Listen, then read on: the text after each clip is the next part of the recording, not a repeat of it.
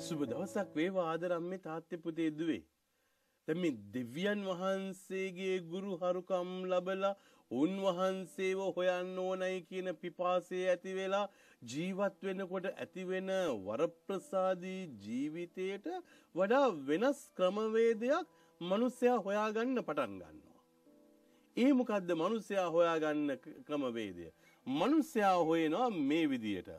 නීතිය සෝදිසි කර බලන්නා එයින් පෝෂණයට පත්වන්නේය. එනිසා නීතිය නිරන්තරයෙන්ම හොයන්න පටන් ගන්නවා. හැබැයි මේ නීතිය හොයලා ඒ නීතිය තමයි දැන් මේ හැම වෙලාවෙම කතා කරන්නේ.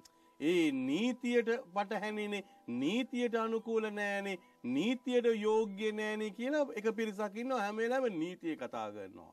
ආදරේ කතා කරන්නේ නැහැ. ඊට පස්සේ දැන් ඔබට මතක ඇතිනේ අම්මේ තාත්තේ පුතේ දුවේ මෝසෙස්තුමාගේ නීතිය අනුව නේ කාම මිත්‍යාචාරය කරපු ස්ත්‍රියක් හම්බුනොත් පුද්ගලයෙක් හම්බුනොත් ගල් ගහලා මරලා දාන්නට ඕනේ. ඒ නිසා ජේස්වාමින් වහන්සේ වෙතට ගෙනල්ලා කියනවා මෙන්න මේ නීතිය අනුව ගල් ගහලා මරන්නට ඕනේ. ඔබ මොනවද දැන් කියන්නේ? ජේස්වාමීන් වහන්සේ මොනවද කිව්වේ? ඔබ අතර කිසිම පාපයක් කරලා නැති කෙනෙක් ඉන්නවා නම් පළවෙනි ගල ගහන්න කිව්වා. ඒ නිසා ස්වාමීන් වහන්සේ නීතිය කැඩුවේ නැහැ. නීතියට අරුත් අරුතක් දුන්නා. හෘද සාක්ෂිය අවදි කරලා දුන්නා. එනිසා නීතිය කතා කරනවා අපි.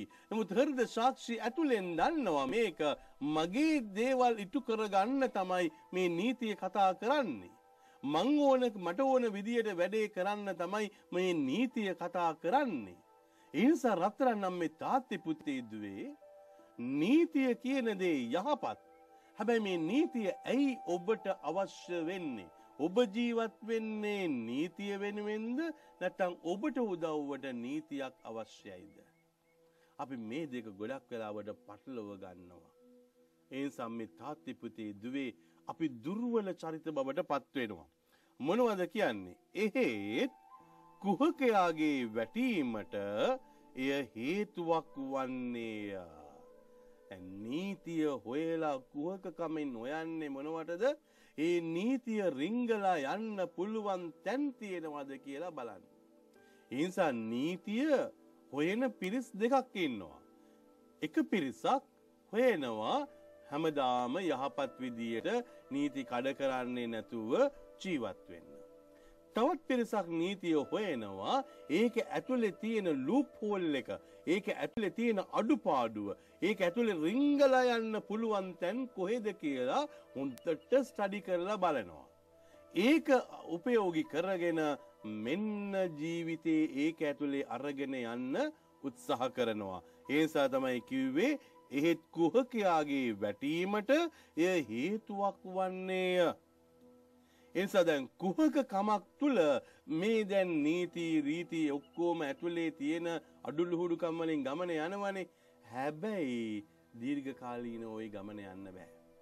කවදා හරි ඒ ගිය කුහක මාර්ගය මිනිසුන්ට හෙළිදරව් වෙනවා. මිනිස්සු හොයා ගන්නවා. හොයාගත්තට පස්සේ අම්මේ තාත්තේ පුතේ දුවේ එදාට ඔබේ මගේ කීර්ති නාමය ඔබේ මගේ ජීවිතය ඔබේ මගේ වත්කම් පෝසත්කම් මේ හැම දෙයක් ගැනම මිනිස්සු ප්‍රශ්න කරන්න පටන් ගන්නවා.